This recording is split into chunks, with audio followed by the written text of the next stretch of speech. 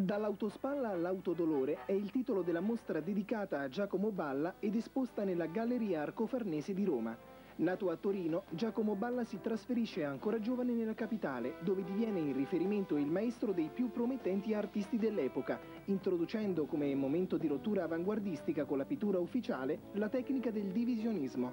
Attraverso lo studio della luce, della fotografia, dei meccanismi della visione, egli sviluppa una pittura di straordinaria innovazione, dai tagli originalissimi e inediti nell'arte europea di quel periodo.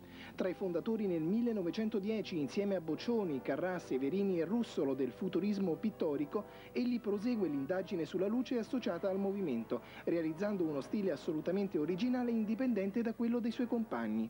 A partire dal 1915 sintetizza la sua visione in campiture di colore puro, con andamenti cromatici che compenetrano linee spezzate e curve, in una sintesi di rumore e velocità.